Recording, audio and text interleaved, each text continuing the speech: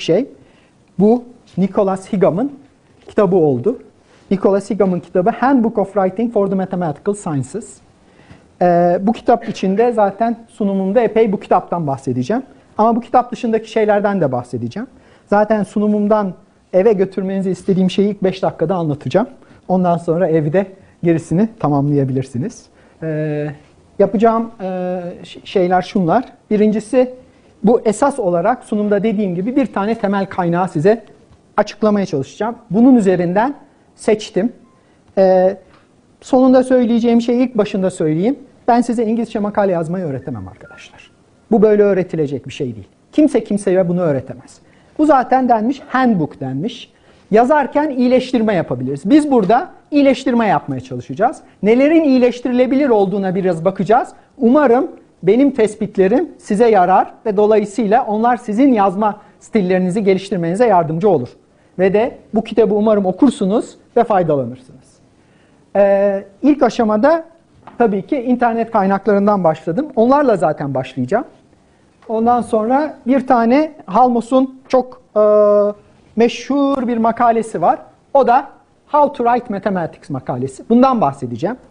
Zaten üç tane şey söyleyeceğim size. Birincisi bu makaleyi okuyun. İkincisi internette bir tane e, video var onu seyredin. E, üçüncüsü de bu e, kitabı başucunuzdan eksik etmeyin. Zaten konuşmamın özü budur. Bunu biraz şimdi çeşitlendireceğim. En sonunda da e, vakit kalırsa o da kendi e, bazı makalelerimle ilgili anılarımdan söz etmeye çalışacağım. Ben kendimle ilgili en, en sonunda konuşmayı tercih ediyorum başında konuşmak yerine. Umarım mazur görürsünüz. Şimdi bu kitabın içeriğinden başlıyoruz. Bu kitap çok zengin bir kitap. Yani çok başarılı bir kitap. Zaten her yerde buna referans verilmesi şaşırtıcı değil. Ee, başlığında Mathematical Sciences diyor. Sadece matematik için değil. Sayemi bilenler bilir. Society for Industrial and Applied Mathematics derneğidir bu dernek. Dolayısıyla mühendislere de bir miktar hitap eder. E, matematikçilere de hitap eder. Belki fizikçilere de kısmen hitap eder. Yani uygulamalı matematikçilere kesinlikle hitap eder. E, çok zengin bir kitap. Bunun üzerinden bir chapter'ların geçeceğim. Ama şöyle bir genel olarak şey e, yapmak istiyorum. Mesela Writer's Tools diye bir şey var. Neleri olması gerekiyor? Yazmaya başlayan bir insanın masasında neler bulunması gerekiyor? Bundan bahsedeceğiz. Bu recommended reading'den bahsedemeyeceğim. Bu kitabın arkasında 304 tane e, referans var. Hepsi birbirinden ilginç referanslar. E, bunları kimsenin okumaya zamanı olmaz herhalde. Matematiksel yazma ile ilgili az bir şey söyleyeceğim. Açıkçası çok söylemeyeceğim. E, İngilizce kullanımı ile ilgili 3-5 şey söylemeye çalışacağım. Bu iki e, kusur saatlik bir e, konuşma olduğunu düşünürseniz eğer e, zaten benim İngilizce öğretmek gibi bir şeyim e, olamaz diye düşünüyorum. Sadece hani bildiğim kadar nelere dikkat edilmelidir uyarı yapabilirim diye düşünüyorum. E, makale yazmakla ilgili daha çok şey söyleyebilirim. Makalenin yapısıyla ilgili daha çok şey söyleyebilirim. E, bir draft yazdığınızda, bir taslak yazdığınızda o taslağı nasıl iyileştireceksiniz? Kaç kere iyileştireceksiniz? Onlarla ilgili bir şeyler söyleyebilirim. Ee, yayınlamak ne demek? İyi bir yerde yayınlamak ne demek? Niye önemli? Ee, bir makaleyle sizin ilişkiniz ne? Onunla ilgili bir şeyler söyleyeceğim. Ama kitap çok daha fazla şey içeriyor. Mesela bir test savunmasının nasıl olduğu ile ilgili şey var. Nasıl yazıldığı gerektiği. Bir konuşma nasıl yapılır? Bir poster nasıl hazırlanır? Bunlarla ilgili bilgiler var kitapta. Aynı zamanda tabii ki e, bu e, tek ve latekle yazılıyor artık matematikte makaleler. Latek dışında bir şey, tek dışında bir şey kullanılmıyor. Dolayısıyla onunla ilgili bazı ipuçları var. Onların kullanımları ile ilgili. Onu da ben burada e, vurgulamayacağım. Vurgulayacağım noktalardan biri e, değil. E, bu 14. bölüm herhalde üzerinden geçeceğim bölüm değil. Ama burada çok da ilginç başka şeyler var. E, apandikslerde, eklerde. E, Yunan alfabesinden e, hangi ödüllü e, yazı örneklerine e, kadar. E, zaten göreceğiz ki bir makale yazmayı öğrenmenin en iyi yolu iyi makale okumaktır. Bol bol iyi makale okuyacaksınız. Belki tekrar tekrar okuyacaksınız. Ve yavaş yavaş onu sindireceksiniz, benimseyeceksiniz. Bir miktar kendiniz yazacaksınız, kendinizi geliştireceksiniz ama iyi makale okuyacaksınız. Onun için de iyi makale bulmak gerekiyor okuyacak. İlle de kendi konunuzda olması gerekmiyor.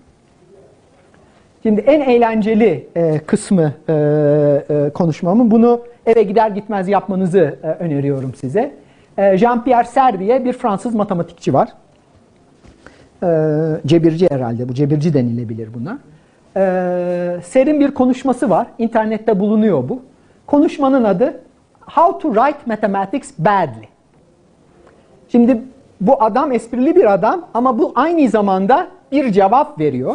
Verdiği cevapta Halmos'un makalesine bir miktar cevap veriyor. Çünkü Halmos iyi makale nasıl yazılmalı, iyi matematik nasıl yazılmalı diye bir şey söylüyor Paul Halmos. Jean-Pierre Serre de diyor ki ben onu söyleyemem size ama nasıl kötü bir makale yazılır onunla ilgili söyleyebilirim. Bu e, Jean-Pierre Serre de açıkçası e, Türkiye görmüş biri, Ankara'ya da gelmiş biri 2006 yılında ODTÜ'de e, bulunmuş. Çünkü Cahit Arf'ın Ekol Normal Superior'dan arkadaşı. Field ödüllü bir matematikçi. Bol bol field ödüllü matematikçilerden örnekler vereceğiz bugün zaten. Bu ilki herhalde yani en başta alanlardan da biri Jean-Pierre Serre. Bunun konuşmasıyla ilgili bir iki bir şey söyleyeceğim. Şimdi mesela kötü bir makale yazmanın en iyi başlangıcı hiç bilgi içermeyen bir başlık seçmek. Hiç bilgi içermeyen başlık olarak Ser şunu öneriyor. To prove a theorem of Euler. E, bildiğiniz gibi matematikte hemen hemen her teoremi Euler yazmış olduğu için Theorem of Euler hiçbir bilgi içermiyor. Her şey olabilir. E, to prove a theorem of Euler de yani Euler ispatlamış da bunu tekrar mı ispatlanıyor, ispatlamadığı bir teorem mi? Yani gerçekten e, işler acısı bir durum var bu başlıkta. E, buna bayılıyorum tabii. Doğru şey yapmış olduğumu bilmiyorum. Notasyon meselesi. Notasyonunuz mesela e, an FTTP which is an ATTH is regular. Anlaşılmaz olsun diyor. Yani öyle bir şey şey yapın ki sadece uzmanları anlasın, başka kimse anlamasın. Böyle bir teorem yazdığınız zaman kimse anlamaz. Eğer kimsenin anlamamasını istiyorsanız bu iyi bir stildir diyor Ser. Mesela referans verirken ne, ne yapabilirsiniz de referansın bulunamamasını sağlarsınız. Mesela Euler'in tüm eserlerine atıf verebilirsiniz. Euler'in tüm eserleri biliyorsunuz 70-80 e, cilt ve hala basılıyor. Dolayısıyla yani Euler'in tüm eserleri diye bir şey yok. Hepsi basılmadı henüz. Sayfa numarası da vermezseniz imkansız onun referansını bulmak. Ee, ispatı da çok kolaylıkla okunması hale getirebilirsiniz. Cümlelerinize sembollerle başlayabilirsiniz. Bu da e, eğer okuyucunuzu kaçırmak istiyorsanız yapabileceğiniz şeylerden bazıları. Tabi Ser bunları çok daha güzel e, söylüyor. E, ama şunu e, vurguluyor, bunu da ben beğeniyorum. Kötü yazmak yazar için kolay ama okuyan için zordur. Dolayısıyla kötü yazmak bir e, çok fazla efor istemiyor ama okuyan için çok efor istiyor. Dolayısıyla iyi yazmak için biz çok uğraşmazsak okuyucu bulamayız. Ee, bunun da e, basit yolları var. Mesela herkesin çok rahatlıkla kendi kendine ispatlayacağı lemaları uzun uzun ispatladıktan sonra çok zor bir lemayı it follows from the definitions ya da kutu kullanmak. Ben dediğim gibi e, Ser Halmos'la atışıyor burada. Bu kutu ispatların sonuna konulan kutudur. Bunun bir adı Halmosian. Yani bu QED yerine konulan kutu. Kutuları sevmiyor Ser. Öyle anlaşılıyor. Ya da it follows from straightforward but long computations diyebilirsiniz. Yani sadece ben bunu burada yapmayacağım e, demek gibi oluyor. Bu tarz okumayı zorlaştırıcı şeyleri yapmak hepsi kolaydır diyor. Bu daha sonra da geleceğim bir nokta bu A ile D meselesi. Ee, İngilizce'de çok ciddi bir problem. Benim için de hala bir problem. Ben de bütün A'larımı, D'larımı makaleleri yazdıktan sonra tekrar baştan sona gözden geçirmek zorunda kalırım. Kaç kere makalelerim D'larınızı koymamışsınız, D'larınızı koyun diye geri döndü. Dolayısıyla hepimiz için bu ciddi bir problem. Dolayısıyla buna tekrar geri döneceğim. Ee, bunun gerçekten hallolması lazım. Ne zaman ne kullanılacağı, ne zaman the, ne zaman a kullanılacağı. Yani Higgum'un kitabında da var. Çünkü ciddi bir problem. Ee, bu yine Ser'in konuşmasından ee, şöyle bir teorem e, söylüyor e, e, Ser. E, bunu kullanabilirmişim. E, iki parçalı teorem. İlk parçasında öyle bir f vardır ki diyor. İkinci parçasında f şöyle bir özelliğe sahiptir diyor. Şimdi matematiksel olarak baktığınız zaman çok mantıksal bir şeyler yazmaya çalıştığınız zaman bu gerçekten ciddi sıkıntılar içeren iki e, ard arda cümle. Çünkü f vardır demek ondan sonra hangi e, birincisi kaç tane f var? Bir tane mi f var? Bin tane mi f var? F has property demek f'in bir özelliği var. Bütün f'lerin mi var? Ee, buradaki bu f'in özelliği mi? Öyle bir f seçebilirim de bu özelliği olan mı? Bunlar çok belli değiller. Onun için genellikle e, bunları daha ifade edilmesi gerektiğini söylüyorsa. Bir de misspelling'e dikkat edin diyor. Siz dikkat ediyor musunuz? Bazılarınız etmiyor demek ki. Çünkü misspelling, misspell edilmiş durumda burada. İki S ile olacak misspelling. Ee, benim esprim değil, Ser'in esprisi. Ee, onun için copyright al alamam bunun üzerine. Bir de onun beğendiği e, Principal Bundle e, kısmı var. O, onun da niye beğendiğini söyleyeyim. Doğrusu hangisi? Doğrusu ikincisi. Ama ilki de İngilizce olarak doğru. Hatta Google'da giriyor ve ser bakıyor ki e, bundan da 400 tane var Google'da. Dolayısıyla ikinci şeyimiz Google'da bir şeyi check ettiniz, kontrol ettiniz. Tamam o zaman doğrudur dediniz Google'a güvenmeyeceksiniz. E, Terence Towne blogunda e, bir e, kısım var e, makale yazmak üzerine. E, bir tane alıntı var. E, Somerset Maugham bir e, roman yazarı. Diyor ki e, roman yazmak için üç tane kural vardır diyor. Ama ne yazık ki kimse bu kuralların ne olduğunu bilmemektedir diyor. E, bütün bu e, nasıl iyi makale yazılır, nasıl iyi İngilizce makale yazılır e, kurallarını da koymaya çalışanların herkesin ilk başında söylediği şey yani mutlaka ki kurallar var ama biz bunları bilmiyoruz. Tao da aynı şekilde e, söylüyor. Eğer Terence Towne'un bir tane makalesini okumuşsanız ne demek istediğini çok iyi anlarsınız.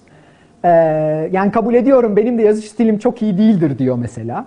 Ondan sonra ama yine e, bize öğüt veriyor yazmayla ilgili dikkat ederseniz. E, fakat iyi bir şey yapıyor Terence Tao blogunda. Blogunda söz ettiği kitaplardan biri de bu. Örneğin. Ayrıca blogunda başka iyi bir iş yapıyor. O da Halmos'un How to Write Mathematics makalesine gönderme yapıyor. Dolayısıyla o makaleyi de bunun içinden bulabilirsiniz. Normal olarak bulunmuyor e, ama e, bunun içinden makaleyi bulabilirsiniz. Başka e, ön çalışmalar sırasında başka şeyler de buldum internette. Bir tanesi de bu Henry Cohn'un mesela amatör matematikçilere yazmak ve şey yapmakla ilgili öğütleri.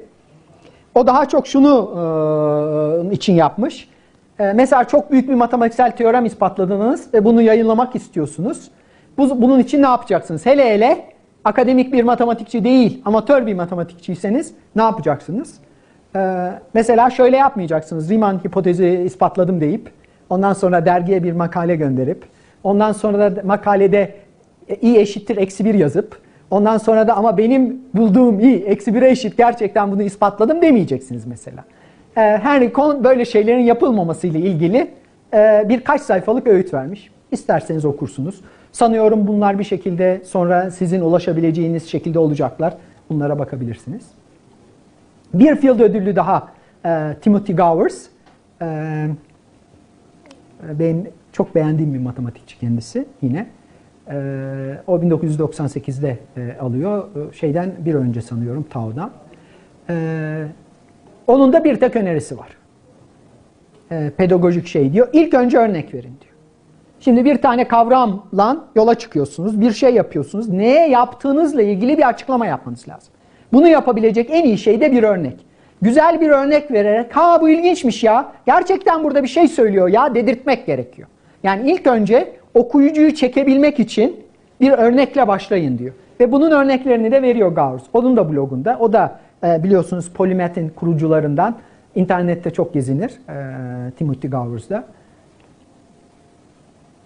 E, genelleştirmek için genelleştirmeyi yapmayın derim ben. Ama tabii siz bilirsiniz. Şimdi e, ikinci e, teknik e, şeye geliyoruz. Masanızın üzerinde durması gereken şeyler. Bir makale yazarken. Google olmaz, internet olmaz. Bir tane sözlük olacak. Güvenilir bir sözlük olacak. Bunlar olmak zorunda değil. Ben Webster kullanıyorum. Siz Oxford kullanabilirsiniz. Çok daha sofistike sözlükler var. Onların kullanılması daha zor. Sağlam İngilizceden İngilizceye bir sözlük olacak. İngilizceden Türkçe'ye değil. Bir tane eş anlamlar sözlüğü olacak. Çünkü matematikte e, e, sadece matematikte değil, matematiksel fizikte de öyle. Devamlı öyledir ki, budur ki bilmem ne diye devamlı aynı bağlaçlar, aynı şeylerle yuvarlanıp gidiliyor. Bir anda çok monoton bir stile düşülüyor. Dolayısıyla zenginleştirebilmenin tek e, şeyi bir tasarruf sahibi olmak. Bir de İngilizce kullanım kılavuzu elde etmeniz lazım. İlle de Fowler's olmasına gerek yok. Ama bir tane İngilizce kullanım kılavuzu. Bir kelimeyi aldığınız zaman ya bu kelime nerede, ne anlama geliyor ya bir yerde bakmanız lazım. Çok iyi sözlüklerde bunu yapanlar var. Ama o çok iyi sözlükler çok kalın ve okunması çok zor. Yani Webster daha hafif siklet bir sözlük mesela. Oxford'un daha profesyonel sözlükleri var. Ama bir sözlük, bir eş anlamlar sözlüğü, bir İngilizce kullanım kılavuzu mutlaka gerekli. Bunlardan kaçınamazsınız. Makale yazmaya karar verdiniz. Bir makale yazacaksınız. İlk önce sormanız gereken sorular neler kendinize? Kendime göre tabii ki. Bu çok zor bir soru. Makale yazmaya yetecek kadar neticem var mı acaba?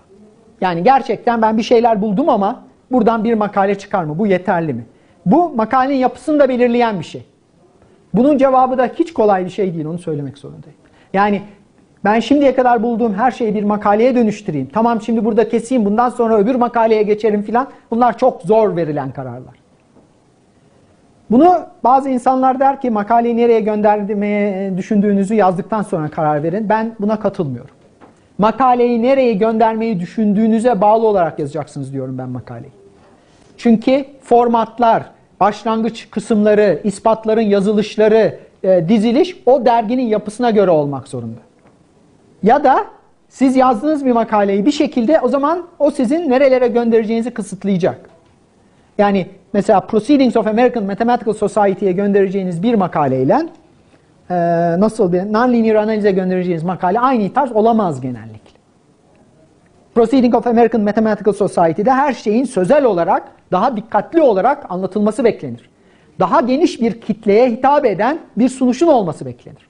Çünkü o herkesin okuduğu bir dergidir. Herkesin okuduğu bir dergideki giriş daha e, uzmanlaşmış insanların okuduğu bir dergideki girişi aynı olmayacaktır. Makale ne uzunlukta olacak? Bu şimdi son zamanlarda özellikle çok sıkıntılı bir e, durum. Çünkü e, eskiden mesela makbul olan uzun makalelerdi. Böyle 50-60 sayfalarla filan makale yazdığınız zaman ha şimdi makale oldu gibi e, gelirdi. Ne yazık ki bir sürü dergi için o geride kaldı. Şu anda uzun makale yayınlamak gittikçe zorlaşıyor. Uzun makale yayınlanmak, e, yayınlayan dergiler yok mu? Var.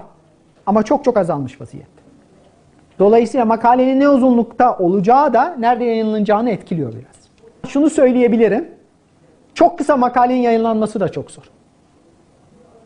Çok kısa makalenin yayınlanması da çok zor. Ona bir örnek vereceğim. Çok uzun makalenin yayınlanması da çok zor. Ona da bir örnek vereceğim. Ortak yazarlar meselesine de ben değinmek istiyorum. Ee, bir yaz, e, makalenin ortak yazarı varsa bana göre o makaleye katkıda bulunmuş insanlar olması lazım. Matematikte genellikle alfabetik sırada sıralanıyor ortak yazarlar. Eğer alfabetik sırada sıralamazsanız garip karşılanıyor. Birçok matematik dergisine bakarsanız bu böyle yapılmaktadır. Başka dergilerde böyle değil. Fizikte filan ille de böyle değil. Mesela esas katkısı olan birinci sırada filan olabiliyor. Ama matematikte böyle değil. Ee, işte şimdi ama benim hocamla birlikte acaba hocamın ismini koysam mı koymasam mı? Onların hepsi e, hassas sorular. Ben e, benim hocam e, Ciprian Foyaş çok e, aşırı ahlaklı biriydi. Ben yalvarırdım ona lütfen sizin de adınızı koyayım makaleye diye. O kabul etmezdi beni. Çok üzülürdüm. E, öyle yani. Şimdi ikinci e, kısa kitabımıza geliyoruz. Aslında bu kısa kitabımızın da e, Halmos'un e, yazısı bu kitap için önemli. Ben bu kitabın tarihçesini anlatmak istiyorum biraz size. E, bu kitap 1971 falan gibi yayınlanmış. E, yazarlarından biri Steenrod. Steenrod algebraik topolojide önemli bir insan. E, ancak Steenrod öldükten sonra yayınlanabilmiş bu kitap. E, dört tane yazarı gözüküyor. Steenrod, Halmos, Schiffer ve Diodoni. 1969 yılında başlamışlar, komiteler kurulmuş, şeyler yapılmış. Write mathematics ile ilgili kitap yazmaya, şey bir kitap oluşturmaya çalışıyorlar. Sonunda Paul Halmos sıkılmış ve kendi şeyini yayınlamış. Kendi yazısını yayınlamış. Zaten o yayınlanmış hali de Tao'nun web sayfasında var. Yani oraya e, bağlantı veriyor. E, bu, bu, bu makaleye oradan ulaşabiliyorsunuz. E, ve dediğim gibi burada dört kişinin şeyi var. Diodone zaten sadece Halmos'un yazısı üzerine yorum yapmış. E, Steenrod bambaşka tarzda bir yazı yazmış. Steenrod da zaten bu yazıyı bitiremeden ölmüş. Başkaları onun için e, tamamlamış. Sonuç olarak yani aslında e, bu kitap bir türlü bitememiş. Bu kitabın bitememesinin çok basit bir sebebi var. Kimse How to Write Mathematics diye bir şey bitirmek istemiyor. Kimse bu konuda bir uzmanlık şey yapıp evet böyle yazılmalı demek istemiyor Paul Almos dışında. O hemen yazmış. O gayet e, fikirlerini güçlü olarak e, savunan e, bir insandı. Tesadüfen de Indiana Üniversitesi'nde e, hocam oldu. Bir tane e, problem seminerine birkaç kere katıldım. Kendisinden ders almadım ama e, kendisiyle değişik kereler ve defalarca karşılaşmışlığımız ve konuşmuşluğumuz var. Ee, kuvvetli fikirleri olan bir kişiydi rahmetli. Ama matematik nasıl yazılmalı konusunda da çok iyi fikirlere sahip. İşte bütün söylediği şeyin özeti budur Halmos. İlk önce diyor ki ve bunların üzerinden yavaş yavaş geçeceğim ben. Söylenecek bir şeyiniz olmalı diyor. Yani bir şey göstermiş olmalısınız. Yeni bir şey olmalı. Ortalıkta yeni bir şey olmalı. Şimdi you must have someone to say it to.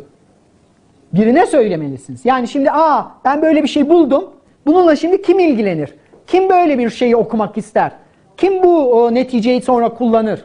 Kime faydası olur bu neticenin? Böyle bir şey olması lazım. Ee, bir de dinleyicinizin olması lazım. Bir söylenecek şeyiniz olacak, bir de dinleyecek bir insanınız olacak. Organize etmeniz lazım ne söyleyeceğinizi. Ki Halmos bu konuda bir üstad. Organizasyon konusunda bir üstad. Muhteşem kitapları var Halmos'un. Ee, mesela e, Naive Set Teori kitabı var. Mesela Measure Teori kitabı var. Mesela e, işte Hilbert Pro, Space Problem Book kitabı var. E, ergodik teori ile ilgili bir kitabı var. Operatör teorisi ile ilgili bir kitabı var. Çok kitap yazan, e, operatör teorisinde de uzman e, bir kişi. E, organize etmek başka. You must arrange it in order what you want it said. Yani dolayısıyla onun içine yerleştirmeniz lazım diyor. Sonra bakın you must write, rewrite and re-rewrite it several times diyor. Bir makalenin diyelim ki ben neticeleri elde ettim. Oh işim bitti şimdi yazarım gönderirim diye düşünüyorsanız eğer hayatınızda hiç makale şeye göndermemişsiniz demektir. Yayınlanmaya göndermemişsiniz demektir. Benim tecrübem yaşım ilerledikçe makalenin yazılmasına harcanan zaman, makalenin neticelerine harcanan zamandan yayınlanmasını da içine koyarsak daha fazla. Yani makalenin sunumu, makalenin neticelerinin ortaya konulması, onun bir şekilde satışı artık kolay değil. Çünkü rekabet çok. Dolayısıyla siz onu en uygun şekilde e, ortaya koymanız gerekiyor. Çok iyi İngilizce ile çok kötü bir makale yayınlanmaz. E, çok çok kötü bir İngilizce ile e, e, bir dakika hangisini söyledim? Çok çok kötü bir İngilizce ile çok iyi bir makale yayınlanmaz. Çok çok kötü bir makale çok çok iyi bir İngilizce ile de yayınlanmaz. Yani e, istediğiniz kadar yazdığınız şey iyi olsun, okunamıyorsa kimse onu değerlendiremeyecek demektir. En fazla şu anda hakemlerden bana geri gelen e, şikayet şu. Ben bu makaleyi okuyamıyorum, ben bunun hakemliğini yapmam. Dolayısıyla siz şimdi makaleyi yazarken düşüneceksiniz ki ben gönderdim işte Proceedings of American Mathematical Society'ye bir makale gönderdim. Onlar da editör de aldı bunu. Ben bunu hakem okumaz ya dedi. Bunun İngilizcesi anlaşılmıyor dedi. Bunu sen bunun düzelt İngilizcesini de arkadaşım öyle gö- gönder dedi. Bitti orada. Orada e, şeyiniz gitti. Yani ilk bakışta hakemin okuyabileceği, hakemin anlayabileceği ve hakemin değerlendirebileceği bir makale yazmak görevi sizin. Dolayısıyla bu someone to say'in içinde makaleyi yazarken de diyorum ki hakemi de düşünün. Hakem yayınla aranızdaki kişidir sonuç olarak. Hakemi de düşünün. Bunu değişik şekillerde düşünmeniz mümkün. Uh, you must be willing to think hard about and work hard on mechanical details such as diction, notation, punctuation. Noktalar, virgüller mesela. Ne olacak noktalar, virgüllerden diyorsunuz. Ben işte size söylüyorum. Dığlarım olmadığı için benim kaç tane makalem geri döndü. Dığları koy geri sonra e, tekrar gönder dediler.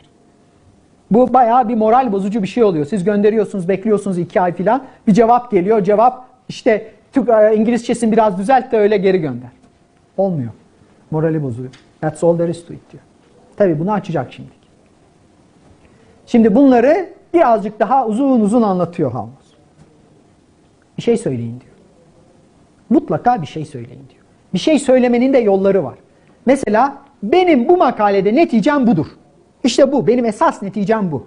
Deyip savunabileceğiniz bir özün olması lazım. Bu öz size kapıyı da, başka kapıları da açacak. Birine konuşmanız lazım.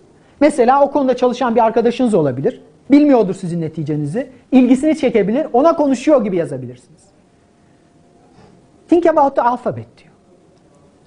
Think about the alphabet diyor. Bu tabii ki matematikçiler içinmiş. Şimdi siz harflerle bir şeyleri ifade edeceksiniz. Harflerle bir şeyleri ifade edersiniz. Kompleks sayılar kullanıyorsunuz. Ondan sonra da bir de IJK'ler falan böyle indeksler ortaya attırırsanız sevimsiz oluyor. İnsanlar beğenmiyorlar bunu. Kompleks sayılarda iyi kullanıyorsanız başka yerde iyi kullanma, kullanmayın diyorlar mesela. Ya da bir notasyon şeyi aldınız. Ee, artık pek kullanılmıyor ama eskiden e, kardinalleri böyle e, alefler şeyler filanlarla e, gotik harfler vardı. Pardon gotik harfler kullanılırdı. Şimdi eskisi kadar gotik harfler kullanılmıyor. Ama o mesela bazı kitapları artık okunmaz hale getiriyor. Bu Writing Spirals'ı biraz söyleyeceğim. Şöyle diyor Halmos. Şimdi bir e, bölümlerinden bahsedeceğiz e, şeyin, e, makalenin. E, ama esas kısmına geleyim. Başlangıcını atayım. Başlangıcını bir kenara atayım. Başlangıç sonucu atalım. Ortaya bakıyoruz. Bir yerden başladık. Dört tane bölümümüz var diyelim. Birinci bölümden başladım, yazdım birinci bölüm. Bazen ikinci bölümden başlanabilir ama birinci bölümü yazdım. Ondan sonra ikinci bölümü yazdıktan sonra birinci bölümü tekrar yaz diyor. Sonra birinci, ikinci bölümü yazdım, üçüncü bölüm yazıyorum, birinci, ikinci bölümü tekrar yaz diyor. Spiral şeklinde yazmak bu demek.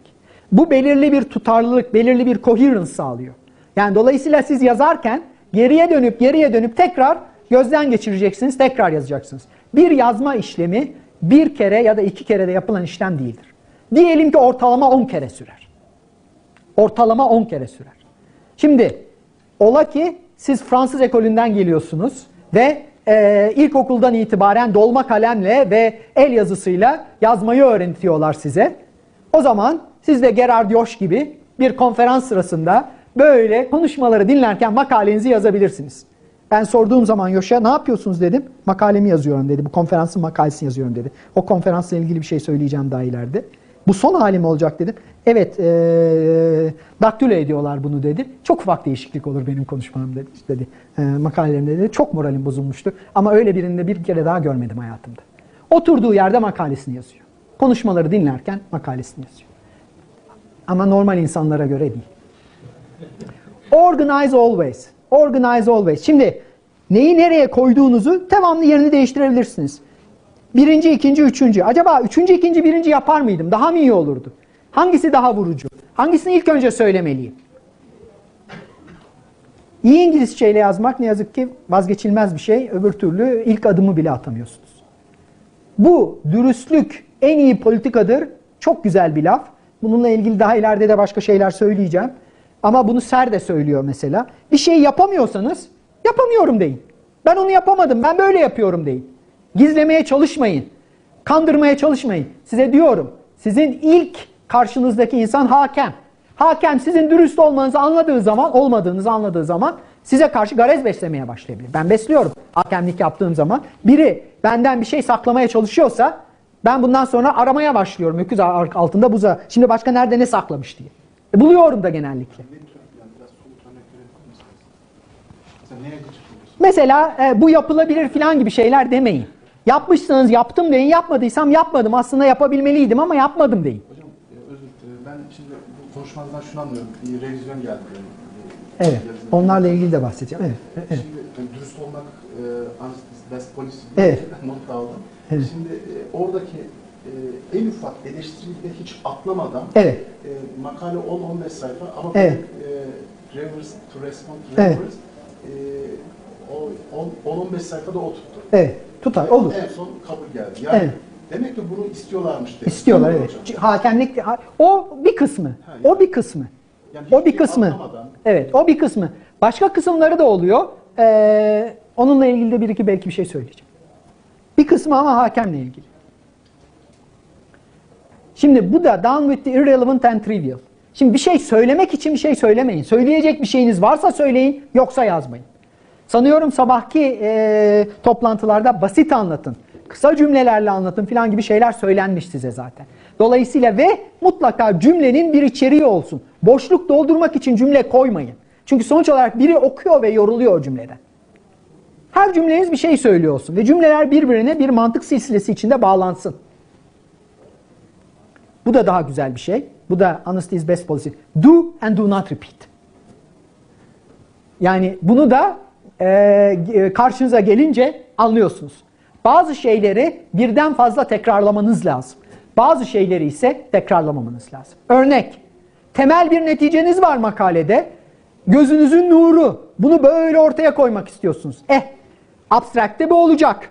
Introduction'da bu olacak. Ondan sonra da bir yerde teorem olarak şeyde olacak. Oldu size üç kere tekrar. E ama bu sizin gözünüzün nuru. Bunu tekrar edeceksiniz siz. Ama böyle herkesin bildiği, herkesin şey yaptığı şeyleri ben de bakın biliyorum diye oraya yazmanız işte hakemi kızdırır. Ya bu bilmiyor mu bunları yani? Bu da ne kadar basit şeyler söylüyor. Bunun matematik düzeyi bu mu der. Siz orada kendinizin matematik düzeyini gösteriyorsunuz insanlara. Bilgi düzeyinizi gösteriyorsunuz. Şimdi e, bunu ben de şey yapıyorum.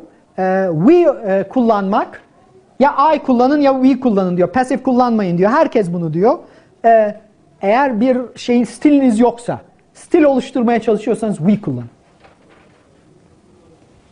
In this article we prove that. Tek kişi olsanız da we. Tamam mı? I prove that değil. Bu editorial we genellikle makalelerde iyi duruyor arkadaşlar. İyi duruyor yani. Ama siz daha böyle duygusal olmak istiyorsanız, kendinizin şeyini koymak istiyorsanız ve I demek istiyorsanız sorun yok ama aktif, pasif değil. Use words correctly diyor. İşte burada bu e, Foley'nin kitabı, tesarruslar, e, şeyler e, giriyor. Her kelimeyle ilgili düşünmeniz gerekiyor. Kullandığınız her kelimeyle ilgili düşünmeniz gerekiyor. Bu şimdilik e, tipik halmos, sembollerden kaçının diyor. Mümkün olduğu kadar sözlü olarak ifade etmeye çalışın. Sözlü olarak ifade ettiğiniz şeyi sonra sembollerle de anlatabilirsiniz. Bakın bu bir tekrar. Ama semboller okumayı zorlaştıran şeylerdir. Sembolleri doğru kullanın diyor. Bu all communication is exposition sanıyorum yaşım ilerleyince anlayacağım. Henüz daha bunu ermiş değilim. Anlayanınız varsa bana şey yapın. Ee, yani tüm iletişim e, sunumdur diyor. Ne demek tam anlamıyorum. Defend your style. Defend your style da şu demek. Bir yazma stiliniz var. Siz bir şekilde yazıyorsunuz. Ama mesela beğenilmedi bu yazım, yazma stiliniz. Eleştiri geldi. Değişik yerlerden eleştiri gelebiliyor. Makale yazdınız, yayınladığınız işiniz bitmedi. Söyleyeceğim şeylerden biri bu, bu, sunumumda. Makale yazdığınız işiniz bitmedi. Makale yayınladığınız işiniz bitmedi. Makaleniz review oldu işiniz bitmedi. Ee, bazen e, yazış e, tarzınızı beğenmeyenler olabilir. O zaman da e, bunu savunun diyor. Halmos kendi yazış tarzını uzun seneler savunmuştur. Onun bir tarzı vardı. Herkesin bir tarzı olmayabilir. Bu anlayabileceğiniz üzere daldan dala daldan dala atlayan bir sunum. Dolayısıyla değişik noktalara ve değişik şeylere değiniyorum. Ee, şeyim herhalde Halmos'un şeyi yapabileceğim en e, derli toplu şey. Şimdi birazcık da kitaba dalıyorum. Ee, İngilizcemi nasıl geliştirebilirim sorusu. Hani belki bana bunu sorarsınız diye buna hazırlanmaya çalıştım. Ee, hemen tabii ki savunmaya geçiyorum. Ee, İngilizce öğretmeni değilim bilemem İngilizcenizi nasıl e, şey yapacağınızı. Sonra biraz daha geri durdum bir dakika ya dedim düşüneyim bir cevabım olması lazım bu soruya. Ee, ben senelerdir İngilizce düşünüyorum. Ama yani ben eğitimime çok e, genç yaşta başladım İngilizce olarak. Dolayısıyla ben Türkçe düşünmekte zorlanıyorum. Benim size önerebileceğim şey iyi İngilizce yazabilmek için ilk önce İngilizce düşünüyor olmaktır. İyi İngilizce nasıl düşünürsünüz? Bence bol bol İngilizce okuyarak. Ama yani ne okuyacağım İngilizce diye sorarsanız ben genellikle öğrencilerime Ekonomist dergisi diyorum. Ekonomist dergisinin dili çok zengin. Yani e, Ekonomist dergisinden şey almıyorum, sponsorluk almıyorum. Ee, Ekonomist yani Financial Times da diyebilirim. Onun da dili çok güzel. Ama birazcık ağdalı, biraz güzel bir dili olan ve ilginizi de çekecek gündelik olan şeyleri ve e, bilimle de ilgili şeylerin yazılacağı bir şeyi okumanız lazım. Roman da okuyabilirsiniz tabii ki. Higam'ın bir sürü önerileri var. Bunların bir kısmından bahsedeceğim. Yapılabilecek en iyi şeylerden biri konunuzda iyi yazılmış makaleleri okumak. Ee, şimdi konunuzda iyi yazılmış makaleleri deyince genellikle şöyle bir şey oluyor. Özellikle gençlerde. Herkes genç değil burada ama ben gençlere hitap ederek söyleyeceğim şimdi. Bir tez hocasıyla çalışıyorlar. Tez hocasının 5 tane makalesi oluyor. O 5 makalesinin üzerine onlar da bir makale yazıyorlar. Bildikleri de o tez hocasının sadece 5 makalesi oluyor.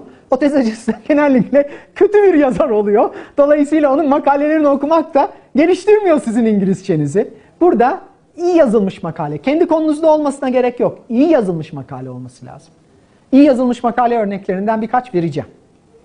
Ee, dediğim gibi kendi konunuzda olmasına gerek yok. Ee, şeyde e, Higam'ın kitabında eklerin E ekinde iyi yazılmış makale örnekleri var ama onlar American Mathematical Monthly'deki e, makale örnekleri genellikle teknik makaleler değil. Dolayısıyla yani hani konunuzda iyi teknik makaleleri sanıyorum herkes bilir. Bir ihtimal çok iyi dergilerde yayınlanan makaleler, çok iyi dergilerde yayınlanan makaleler genellikle iyi makalelerdir. Mesela Annals of Mathematics'te, Invasiones'de, Communications in Partial Differential Equations, Journal of American Mathematics'te, e, başka ne söyleyebilirim? Yani böyle çok e, üst seviyeli, mesela Siam Review, Siam Review çok iyi e, makaleler yayınlar. Dili çok iyidir. Siam Review'de yazabilmek için gerçekten çok iyi yazmanız gerekir. Ya da Bulletin of American Mathematical Society. Oradaki expository makaleler çok iyi yazılmış makalelerdir.